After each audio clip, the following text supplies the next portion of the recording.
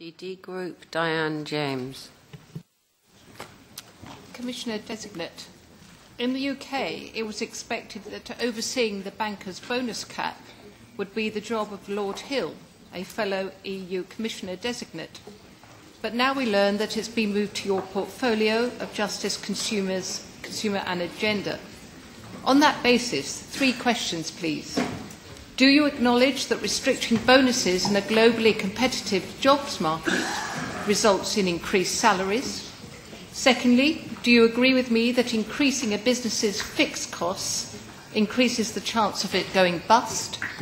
And finally, in any membership terms regarding renegotiation, would you support requests from the United Kingdom to repatriate the power to keep Eurocrats and the European Court of Justice from interfering in private employment contracts? Thank you.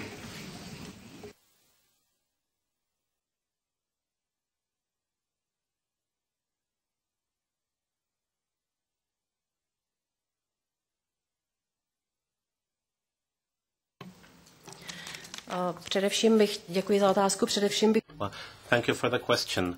First of all, I would like to say uh, that the supervision of uh, bankers' bonuses uh, related to undertaking the risks is uh, quite all right for me. I think that we are going the right way, and I think that we must set the rules in such a way that we prevent moral hazards and in such a way that we prevent uh, taking uh, risks with uh, short-term interests. And we must also uh, prevent uh, any damage to shareholders' uh, rights and at the end of the day, uh, any damage to the interests of the public.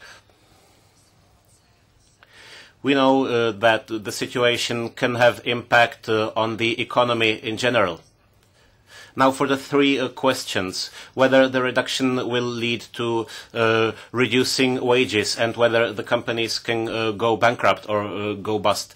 Uh, I have studied this matter and I have found that uh, the bonus restriction should cover just 1% of the employees. And these are those employees who are in charge of risk investments So I think that this uh, topic is not that crucial. And as for uh, the, the decision of the European Court of Justice, uh, uh, I'm far from, uh, from judging the European Court of Justice. As you might know, uh, the first hearing took place on September the 8th, and we can expect the final decision until the end of the year. And after that, uh, uh, we will deal with the decision, whatever form it might take. And I am not going to uh, prejudge the content of the decision.